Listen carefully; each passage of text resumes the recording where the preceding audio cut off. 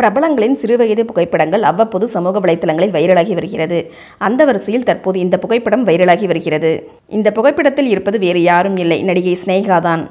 மலையாளத்தில் வெளியான இங்கன ஒரு நிலாபஷி என்ற திரைப்படத்தின் மூலம் திரைத்துறையில் அறிமுகமானவர் ஸ்னேகா இதைத் தொடர்ந்து தமிழில் என்னவிலை படத்தில் மாதவனுக்கு ஜோடியாக அறிமுகமானார். அதன் பிறகு ஆனந்தம் பார்த்தாலை பரவசம் பம்மல்கி சம்பந்தம் வசீகரா வசூல் ராஜா உள்ளிட்ட பல வெற்றி படங்களில் நடித்துள்ளார். தனுஷுடன் இணைந்து இவர் நடித்த புதுப்பேட்டை படம் நல்ல வரவேற்பை பெற்று இன்றும் பேசப்படும் ஒரு படமாக உள்ளது. அதேபோல் கமல் விஜய் அஜித் சூர்யா உள்ளிட்ட முன்னணி நடிகர்களுடன் ஸ்னேகா பல வெற்றி படங்களை கொடுத்துள்ளார்.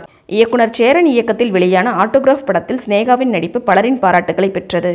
கடந்த இரண்டாயிரத்தி பனிரெண்டாம் ஆண்டு நடிகர் பிரசன்னாவை காதலித்து திருமணம் செய்து கொண்ட ஸ்னேகாவிற்கு தற்போது இரண்டு குழந்தைகள் உள்ளனர். தற்போது தென்னிந்திய மொழி படங்களில் முக்கிய கேரக்டர்களில் நடித்து வரும் நடிகை ஸ்னேகாவின் சிறுவயது புகைப்படம் தான் தற்போது இணையத்தில் வைரலாகி வருகிறது. மேலும் வீடியோக்களை காண நமது சேனலை சப்ஸ்கிரைப் செய்யுங்கள். நன்றி.